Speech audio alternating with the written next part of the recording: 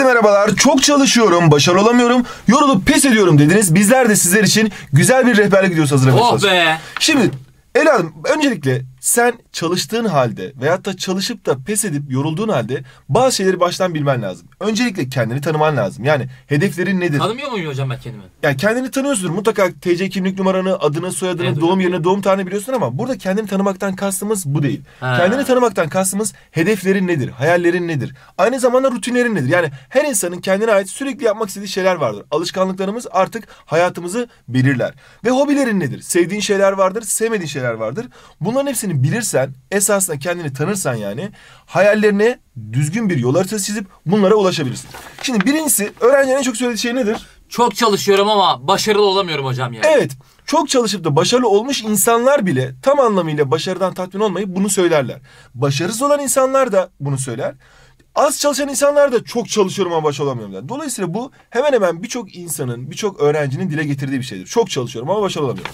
Peki bunun sebepleri ne olabilir? Birincisi hatalı çalışma yöntemi. Hatalı çalışma yönteminden kastımız şu. Bazı öğrenciler sabah erken saatlerde veyahut da gece geç saatlerde veyahut da yemeği ağır bir yemekten sonra veyahut da doğru derse doğru zamanda çalışmayıp yani çalışma yöntemini yanlış belirleyip esasında çalıştığı halde başarısız olabilir. Buna biz plansız çalışma da diyoruz. Mesela senin bir sınavın var. Sınavına sen bir gün önce son gece deli gibi çalışsan bile senden önceki günlerde çalışmaya başlamış kişiyi belki zor yakalarsın. Çünkü o planlı çalışmıştır. O düzenli bir şekilde sınavdan 2-3 gün önce tekrarlarına başlamıştır. Hatta o konuyla alakalı, o dersle alakalı önceden tekrarlar yapmıştır ve sınava girdiği zaman başarılı olur. Şöyle düşün. Mesela sana bir e, ne diyelim mesela diyelim ki bir e, pasta veriyorlar. Tamam çok büyük bir pasta. Oo. Sen bu pastayı böyle dilim dilim yersen, dilim dilim yersen ne olur?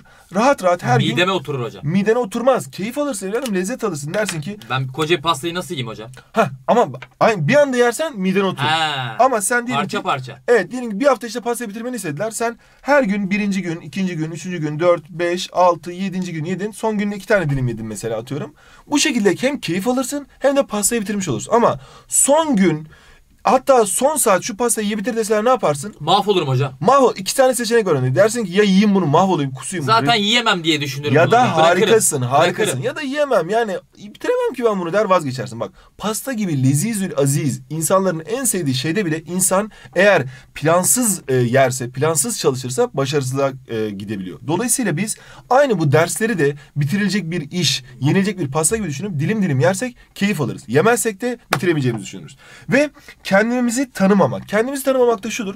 Bazı öğrencilerin mesela her insanın bir zekası vardır evladım. Yani kimisinin futbol zekası vardır, kimisinin sanat zekası, kimisinin Sosyal zekası var. Evet harika sosyal zekası vardır. Kimisinin mühendislik zekası, kimisinin sayısal, kimisinin sözel. Her insan belli bir zeka ile yaratılmıştır. Ama bunu keşfetmesi gerekir. Bunu keşfedinceye kadar da bazı sıkıntılar, bazı üzüntüler yaşar. Çok Mesela- normal hocam. Evet ben mesela e, üniversitedeyken çok başarılı bir öğrenci olmama rağmen bazı sayısal derslerde çok başarısızdım ve üzülürdüm. Ya ben dangoz muyum derdim. Böyle gerçekten oturup kafamı masanın üstüne koyup Bazen insan herkesin yaptığı soruyu bile yapamayabiliyor hocam. Aynen herkesin yaptığı "Ya bunlar yapıyor ben niye yapamıyorum çok üzülürdüm. Acaba ben dangoz muyum derdim. Sonradan anladım ki dangoz değilmişim ama o Aa. dönemlerde ben dangoz olduğumu düşünürdüm. Çünkü kendimi tanımıyordum. Dolayısıyla her insan belli eksiklerini üzerine gidip halledemeyince eyvah der ben bir şey yapamıyorum. Halbuki başka yönleri güçlü yönlerini tamamlayabilir. Bir de isteksizlik. Biz genellikle derslere şöyle çalışıyoruz. Ya bu ödev verildiği için, bu sınavda çıkacağı için, annem babam üzülmesin diye. Yani biz kendimize fayda olsun diye değil de isteksiz bir şekilde birileri ne der diye çalışırsak bu esasında gerçek bir istek olmadığı için bizi başarıya götürmez. Bir de en önemlisi kendine güvenmemek. İnsanlar kendine güvenmesi gerekiyor. Sen kendine güveniyor musun evladım? Hocam ben çalıştığım zamanlarda kendime güveniyorum. Harikasın Ama bak. çalışmazsam güvenemiyorum hocam. Harikasın. Esasında bu hepimiz için geçerli. Sadece senin için değil, benim için de geçerli. Kendimize güvendiğimiz zaman, çalışıp kendimize güvendiğimiz zaman ilerleyebiliriz. Şimdi neler yapacağız? İstersen biraz artık e, kendimizi tanımaktan ziyade yapılacaklara geçelim. Birincisi plan yapmamız gerekiyor. Az önceki pastayı yerken nasıl plan yapmadığımızda midemize oturuyorsa veya yemekten vazgeçiyorsak derslerle alakalı bir plan yapmamız lazım. Bununla alakalı çalışma planları biz zaten sana sunmaya çalışıyoruz. Kanalına göre takip edip yani sınıfına göre kanalını takip edip bunlardan bizden yardım alabilirsin. Ama kendine bir plan yapabilirsin. Hocandan plan isteyebilirsin. Rehber hocandan isteyebilirsin. Ya da sınıftaki başarılı bir arkadaşından ya sen nasıl çalışıyorsun? Sınavdan bir gün önce mi hepsine abanıyorsun? Yoksa belli plan mı yapıyorsun diye sorabilirsin. Ve dersi çok dikkatli dinle. Çünkü ders ders öğrenilir. Hoca oraya kadar gelmiş sana bir şey anlatıyorsa mutlaka bunun bir sebebi vardır. Ve anlattıklarını bir dahaki sefer dinlesinler diye genellikle sınavlarda anlattıklarından sorar. Ve düzenli ve özenli notu. Düzenli ve özenli not tutmak ne demek sence evladım? Hocam günlük, Evet. haftalık bir şekilde tamamen bu notları e, hangi gün, hangi saat, ne çalışacağım, nasıl çalışacağım, hangi ders, hangi konuyu çalışacağım. Bu olabilir mi hocam? Bu olabilir veyahut da hoca ders anlatırken böyle elini ah, hadi bakalım dinliyoruz şeklinde değil de hocanın söylediklerini kısa kısa not almak Ha. yani özenmek. Çünkü söz uçar yazı kalır. Ben şu hocam an bazen öğretmenim böyle yapıyor. Diyor ki bakın bu noktaya dikkat çekiyorum diyor mesela hocam. bu sınavda çıkacak demektir. İşte Ha. sen bunu yazarsan gerçekten özenli not tutmuş olursun. Çünkü insanlar yazdıklarının çoğunu aklında tutabiliyor ama söyledikler bazen söylediklerimiz bazen uçup gidiyor. Ve notlarını her akşam düzenli oku. Yani bak burasına dikkat dediği şeyleri akşamleyin okusan emin ol sınavdan önce sadece notları yarım saatçik bile tekrar etsen Yeter. Yeter. Aynen dediğin gibi. Ve yazarak çalışmak çok önemli. Çünkü biz hani e, bize hem el verilmiş hem ayak verilmiş. Demek ikisine bir faydası var. Bize hem dinleme yeteneği verilmiş hem de yazı yazma yeteneği verilmiş. O zaman yazarak da çalışmamız lazım. Onu bütünleştirmemiz lazım. Şimdi bir de şöyle tipler vardır mesela. Sizde var mı bilmiyorum. Of hocam ya olmaz mı ya? Nasıl ne diyorlar mesela? Hocam diyor ki mesela ben e, hiç çalışmadım ya. Ya kesin çok kötü geçti sınavım falan. Hoca bir açıklıyor hocam 95 almış. Hayda. Bende de vardı. Ben de gerçekten lisedeyken ve üniversitedeyken bu tarz insanlardan çok rahatsız olurdum. Hatta ben de numara yapardım. Ben çok çalışma. Hadi gelin benim yanıma oturun da ben sizden kopyalayayım derdim yani anlatabiliyor muyum? Çünkü hiç çalışmadım diyen bir insan iki ihtimal var. Ya gerçekten çalışmamıştır. Ya çalışmadım der ve düşük not alır. Ama hiç çalışmadım deyip de iyi not alan bir insan ya kendini çok zeki göstermek istiyordur. Ya da ya da e, ondan yardım istemesinler diye kaçıyordur. Veyahut da esasında 10 saat çalışmıştır ama o kendi zekasına güvenmediği için ya ben 20 saat çalışınca çalışmış oluyorum. Hiç çalışmadım diyordur. Bunlar iyi, iyi dilekler tabii ki. Sonuç olarak bu tarz insanlara inanıp moralini bozma. Onlar çalışmadım deyip iyi not alabilirler ama Biz esasında... hepimiz kendi çalışmamıza bakalım hocam. Aynen her koyun kendi bacağından e, bir şekilde süzülür, asılır. Atasözümüz var. Dolayısıyla sen mutlaka ama mutlaka bu tarz insanlarla karşılaşabilirsin. Hatta ve hatta bunlarla alakalı seni annen de üzebilir. Yani senin en sevdiğin kişilerden bir tanesi kim? Annen. Annen sana diyebilir ki bak işte şu senden daha iyi yapıyor. Ben senin zamandayken bu kadar çalışmadan da yapardım gibi. Anneler bile bazen üzücü sözler. Aslında kötü niyetle söylemiyorlar ama hocam Evet bazen anneler bile bizim yani hiç çalış mesela bütün gün ders çalışırsın. O sırada biraz telefona bakmışsındır. Annen içeri girer hiç çalışmıyorsun der. Bu ben tarz- hep o anda yakalanıyorum hocam. Genelde Çalışıyorum tam telefonu elime alıyorum annem giriyor. Bütün öğrenciler genelde o anda yakalanır. Bir de molalı çalışman gerekiyor. Ne demek bu molalı çalışmak? Bir saat çalışıp 10 dakika mola vermen gerekiyor. Mesela bir e, otobüsle seyahat ettiğinde ne oluyor? Aralarda mola veriyor adamlar. Veyahut da derslerde aralara teneffüs konuluyor. Hatta şimdi teneffüsleri uzatmaktan bahsediyor. Niye? Çünkü insanın bir kapasitesi var. Ben bu videoyu 2 saat anlatsam sen artık yeter dersin. Kapatırsın çıkarsın yani. Ben ama hemen birazdan bitireceğim. 1 saat çalış 10 dakika mola. 1,5 saat çalış 15 dakika mola. Burada niye iki farklı zaman dilimi yazdık?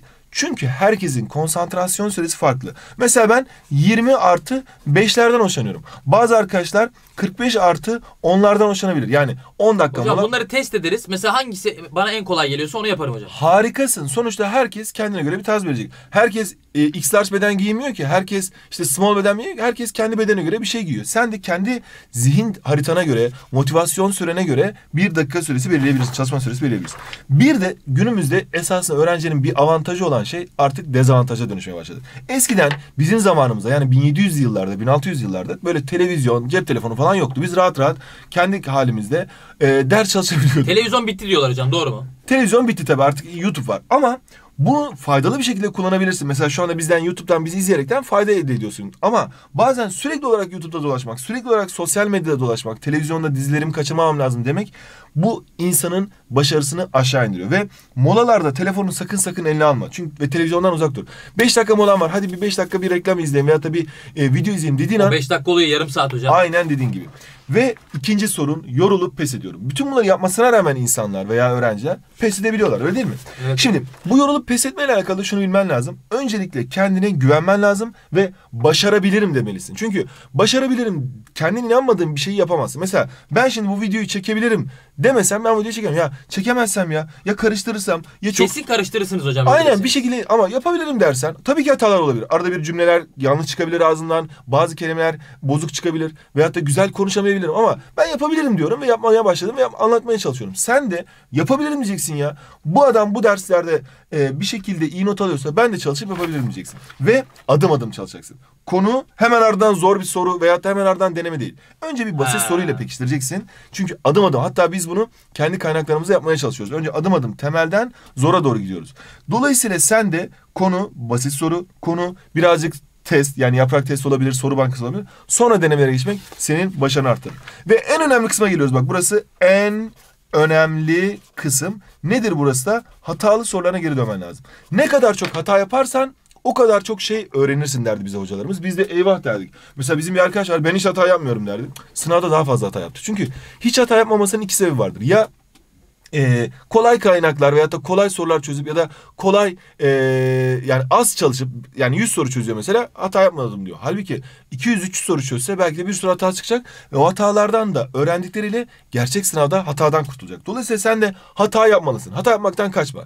İnsan ne kadar çok hata yaparsa o, O kadar çok öğrenir hocam. harikasın ve bu hatalarını bir kutuda biriktirebilirsin. Bir çuvalda biriktirebilirsin eğer çoksa. Ya da küçük bir e, böyle biblo bir kavanozun içine biriktir. Fark etmez. Ama bu hatalarını mutlaka görmelisin ve sen benim hatamdan ama artık senden kurtulacağım demelisin.